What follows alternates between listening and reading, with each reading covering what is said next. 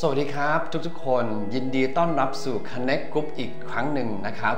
หากนี่เป็นครั้งแรกของพี่น้องที่เข้าร่วม Connect Group กับเรานะครับ ผมขอยินดีต้อนรับนะครับแล้วหวังว่าเราจะได้นะครับเรียนรู้และเติบโตในพระวจนะคำของพระเจ้าไปด้วยกันมีชีวิตฝ่ายจิตวิญญาณที่มั่นคงที่เข้มแข็ง และไม่ว่าอะไรเราจะเจอพายุ เจอสถานการณ์ยังไงก็ตาม เราจะยึดมั่นในพระคำของพระเจ้าด้วยกัน วันนี้นะครับเราจะเรียนรู้เรื่องความชอบธรรมดูความชอบธรรมด้วยพระคุณนะครับ ก็เป็นเรื่องที่น่าสนใจน่าสนใจมากเมื่ออพูดถึงความชอบธรรมนะครับ ผมเนี่ยอยากจะถามพี่น้องว่า คุณเป็นคนชอบธรรมหรือไม่ให้คิดแป๊บหนึ่งบางทีนะครับเราได้ยินคำว่าคนชอบธรรมแล้วเราคิดว่า เอ๊ะมันไม่น่าจะใช่เรานะอะผมถามอีกครั้งหนึ่งแล้วกันว่า พี่น้องคิดว่าพี่น้องเป็นคนดีหรือไม่อลองคิดแป๊บหนึ่ง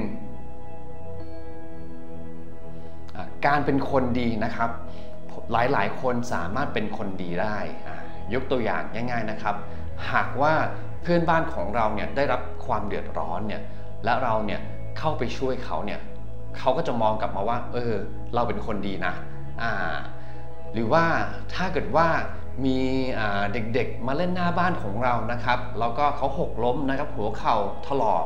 เสร็จแล้วเนี่ยเราก็ออกไปช่วยเหลือเขา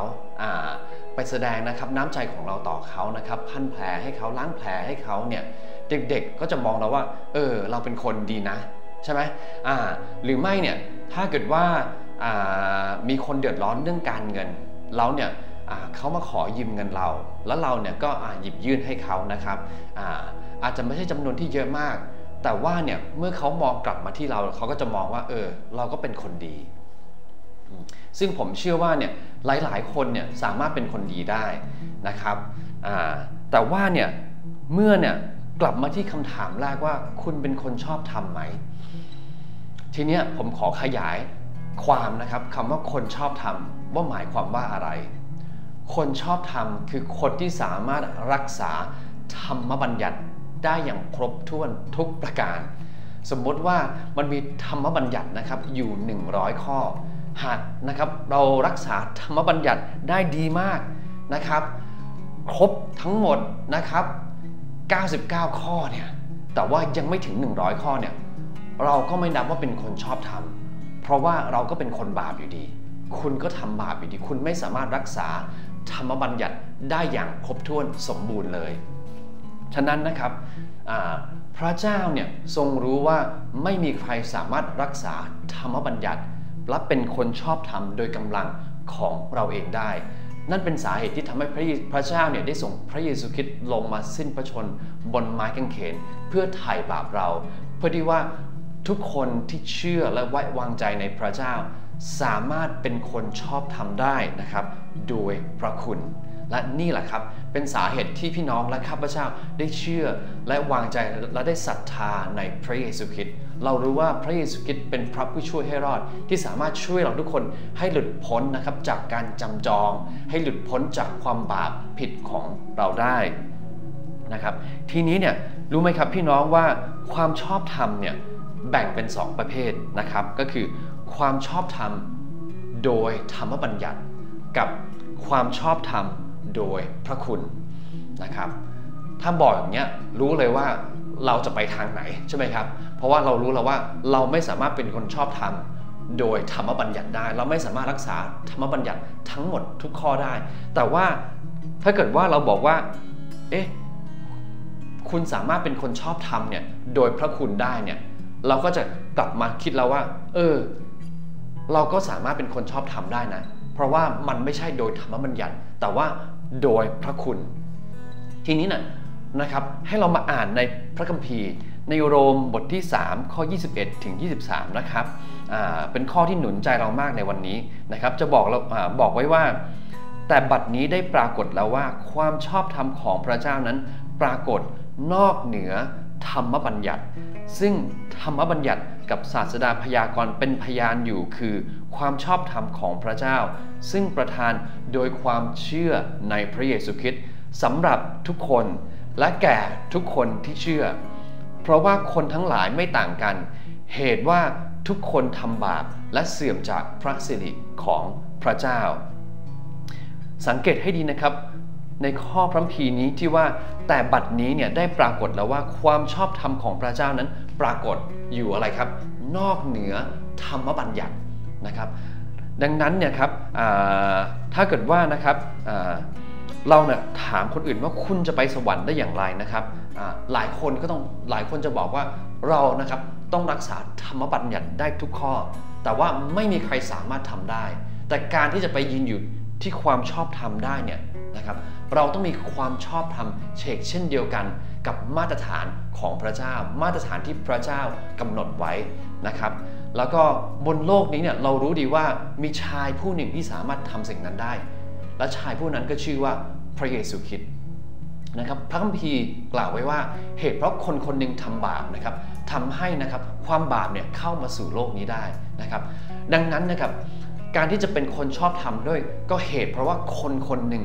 สามารถรักษาธรรมบัญญัติกฎเกณฑ์ได้อย่างครบถ้วนสมบูรณ์ ไม่มีนะครับที่ติเลยไม่มีความบาปอยู่เลย นะครับนั่นคือพระเยซูคริสต์และเมื่อนะครับเราเอาเอาเอาตัวของเราเองนะครับ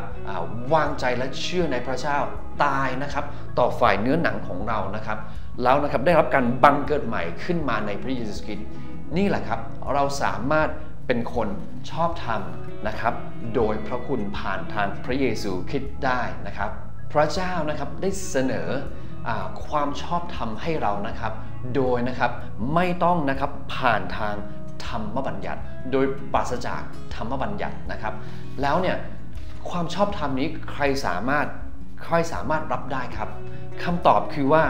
พี่น้องทุกคนนะครับสามารถรับได้ ไม่ว่าจะเป็นเด็กนะครับวัยกลางคนวัยชราวัยทำงานวัยเรียน ทุกคนนะครับสามารถรับความชอบธรรมนี้จากพระเจ้าได้นะครับ เพราะว่านะครับทุกคนทำความผิดบาปไม่มีการแบ่งแยกว่า คนนี้ทำน้อย คนนี้ทำมากขึ้น คนนี้ทำข้อเดียวคนนี้มันไม่มีการแบ่งแยกอย่างนั้น บาปก็คือบาปเราทุกคนนะครับทำบาปหมด ดังนั้นนะครับ เราทุกคนสามารถมาเป็นความเป็นคนชอบทำผ่านทางพระคุณนี้ได้นะครับ การที่เราได้รับความชอบธรรมนี้นะครับ พระเจ้าให้เรามาแบบฟรีๆนะครับ เป็นการเหมือนกับพระเจ้าได้ให้ของขวัญให้กับเรา โดยที่ไม่มีค่าใช้จ่ายใดๆทั้งสิ้น หากว่านะครับ มีคนให้ของขวัญให้กับผมเนี่ยแล้วผมรับมาผมชอบของขวัญนนี้มากชอบมาก แต่เขาบอกว่าคุณจะต้องจ่ายตังค์นะครับหลังจากผ่านไปนะครับ 3 เดือน ผ่อนจ่ายก็ได้ แต่ขอให้จ่ายให้ครบผ่อนนานเท่าไหร่ก็ได้ 1 ปี 2 ปีก็ได้ แต่ขอให้จ่ายให้ครบ แสดงว่าอะไรครับ แสดงว่าอันนั้นไม่ใช่ของขวัญที่เราได้มาแบบฟรีๆนะครับ แต่ว่า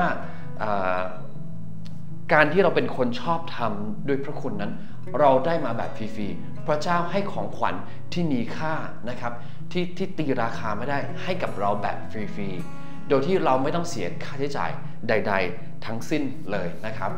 ดังนั้นพี่น้องผมอยากจะหนุนใจพี่น้องว่าสำหรับเรื่องราวที่เราเรียนรู้ในวันนี้นะครับว่าพระเจ้าเนี่ยได้ให้เราเป็นคนชอบธรรม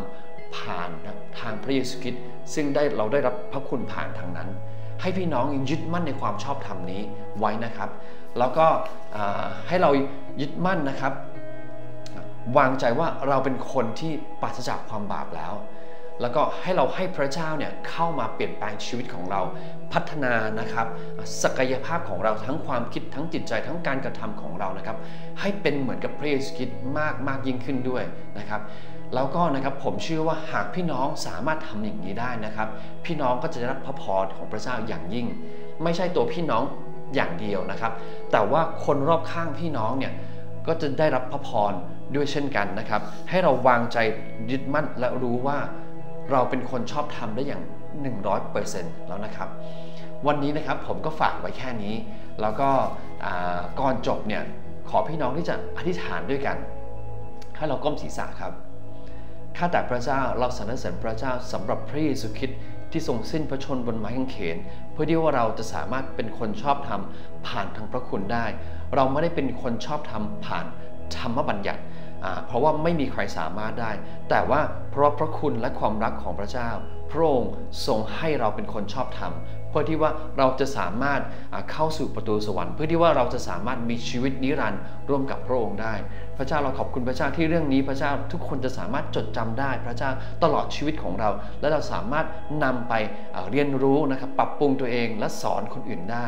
ขอให้ทุกคนมีช่วงเวลาที่ดีมีสัปดาห์ที่ดี อธิษฐานในพระนามพระเยซูคริสต์เจ้าอาเมน ขอบคุณนะครับที่ร่วม